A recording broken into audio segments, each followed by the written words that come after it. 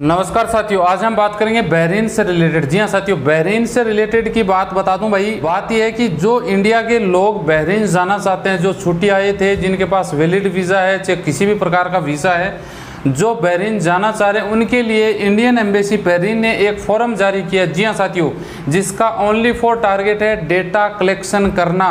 और data collection का मतलब ये होता है कितने लोग इंडिया से बहरीन जाने के इच्छुक हैं। जी हाँ उसका पर्पज सिर्फ़ इतना ही है तो आपको भी ये काम करना है भाई। जो लोग बहरीन जाना चाह रहे हैं, मैं वीडियो के नीचे फॉर्म का लिंक भी शेयर कर दूँगा। उसको आप ओपन करके पूरा फॉर्म भरना है, पूरी डिटेल से बात करेंगे। वीडियो अच्छा लगे तो लाइक शेयर करें चैनल सब्सक्राइब करके बेल आइकन ऑन कर लें, ताकि विदेश से रिलेटेड सही इन्फॉर्मेशन मिलती रहे। फेसबुक पेज वाले पे फॉलो कर लें।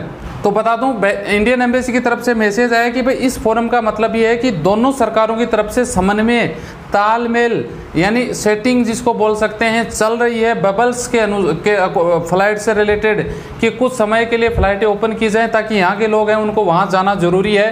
क्योंकि इंडिया की फ़्लाइटें तो वहाँ जा रही हैं, वहाँ की इधर आ रही हैं, जो लोगों को लेके आ रही हैं वंदे भारत मिशन के तहत। तो उसी फ़्लाइट में इंडिया के लोग वहाँ पे जा सकते हैं। बहरीन ने अभी एक्सेप्ट स्टार्ट कर दिए हैं वर्क परमिट भी स्टार्ट कर दिए आप सब लोगों को पता ही है।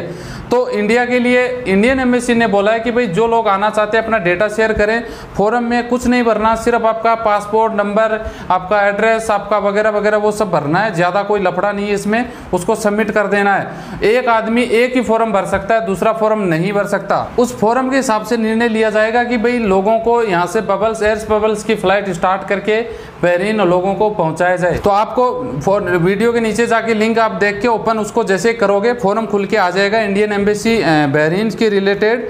तो उसमें सिर्फ़ इतना भरना आपका ईमेल एड्रेस अगर है तो आपका नाम, आपकी एज, आपकी जेंडर, आप मेल, फीमेल, कौन हो, पासपोर्ट नंबर, वीज़ा, रेजिडेंस और परमिट नंबर आपको भरना है, type of वेरिन visa, C P R card number आपके पास है, वो भरना है, योर आंसर आपको देना होगा।